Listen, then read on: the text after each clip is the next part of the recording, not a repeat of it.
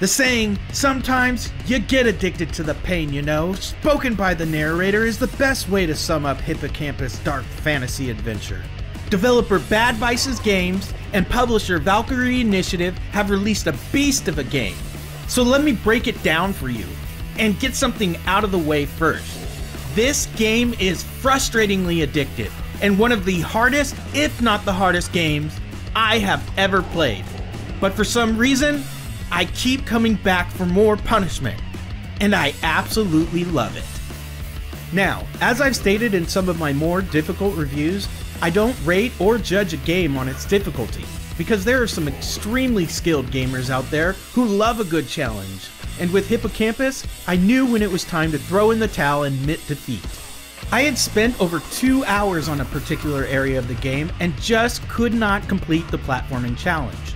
For this reason, it's not fair to developers to give a full review, hence this first impressions of it. But I will do my best to put the game in perspective for you. So, as far as the story goes, from what I took from the time I played and what I read on it, you play Lord Mobius, who is in search of his fiancée. He consumes a dangerous hallucinogen called Datura stramonium, to bring forth the memories of his lost fiancée, Lorelei, all so they can come together once again. But in his path, he must face monstrosities produced by his hallucinations, solve puzzles to access new areas, and on top of that, he needs to discover the truth behind the disappearance of Lorelei. Now for the most interesting and important part of the game, the gameplay. I was sent a beta code from the publisher for those of you who are wondering, but the game is not a pricey one. It'll run you a reasonable $11.99 on the Steam store. And being it was in beta, I did encounter a few bugs and irritating issues I hope they address.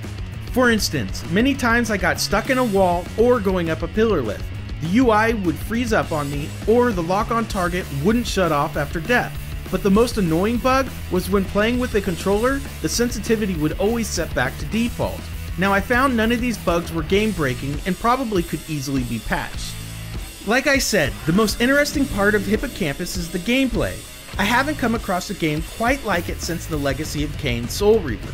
It even has that dark gothic feel, and in fact, this is what caught my attention to the game in the first place.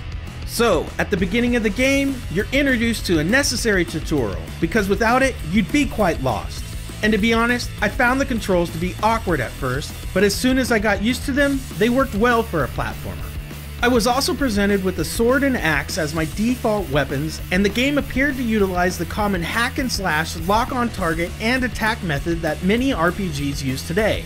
But the lack of a block feature made combat extremely difficult. There was also a power attack feature that consumes your health when used. It made for a unique health system, but I didn't get too familiar with it as it was difficult to use. I also came across a variety of enemies from slow to fast, requiring me to take a different approach to each encounter. Now for the platforming. This for me was the most difficult part and where I was defeated. At the beginning of the game, it tells you to pay attention to your surroundings, and believe me, this is some great advice because the solutions to the puzzle may be right in front of your face. Fortunately, in the game, the controls felt great and were well implemented. This really helped me with my general platforming. My only complaint was that at default, the controller sensitivity should have been set at high, because platforming on a low setting was nearly impossible. While playing, you're presented with a series of orbs, and each does a different action indicated by its color. One may give you a boost in the air, another create a platform, or even teleport you to another location. But you must be quick when using these orbs because if you miss your opportunity to catch one, your platforming days are over. And that brings me to your continuous respawning. At first, I felt embarrassed at my death count, but I soon realized that this was the intent of the game. The game's narrator even encourages you to keep at it and not give up. And I definitely kept at it for hours. One last thing about the game there are some boss fights in there, but I unfortunately never got far enough into it to encounter any. So the graphics are really nothing special, and that goes for the sound effects and soundtrack as well. But the atmosphere is another story because I absolutely loved it.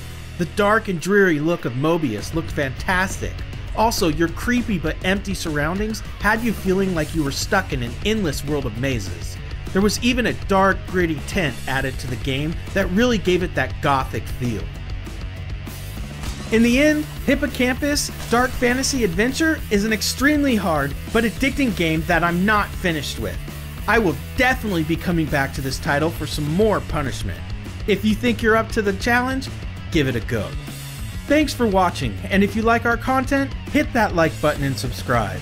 Also, check out the BG4G Hub website for the latest news, reviews, and everything gaming.